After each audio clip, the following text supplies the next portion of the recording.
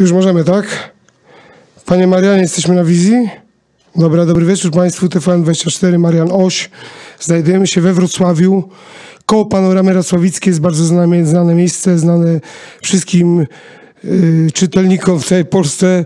Jest to zoo, wielkie zoo państwa gucwińskich i okazało się, proszę Państwa, wybuchła bomba. Samego rana wybuchła bomba. Okazało się, że państwo gucwińscy zosta, zostali rozpracowani w ciągu czterech lat przez grupę CBŚ.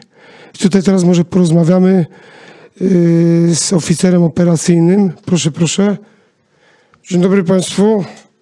To jest ten sam głos, ale chuj, to teraz ja będę mówił za kurwa. Więc generalnie chodzi o to, on się nie chce ujawniać, nie?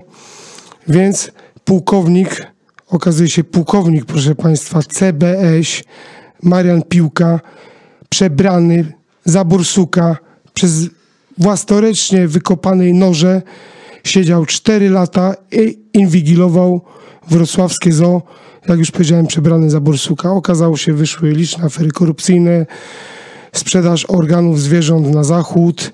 Później nie, nie, nie, nie wymieniam już filmów porno kręconych z udziałem zwierząt, oczywiście dla części zoofilskiej, części bogatych, bogatszych Niemców, tych, którym znudziło się latanie do Brazylii i pedofilia i wzięli się teraz za zwierzęta. Więc generalnie zostali posądzeni z 17 paragrafów kodeksów i państwo gucwińscy myślę, że powinni pomyśleć poważnie nad tym, żeby zawinąć swoje łanie i kurwa pójść na emeryturę.